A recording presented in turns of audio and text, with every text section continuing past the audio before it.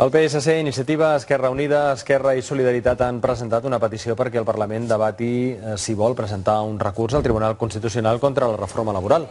La petició es basa en els articles de la reforma que el Consell de Garanties Estatutàries va assenyalar com a inconstitucionals i que, a més, envaeixen competències autonòmiques.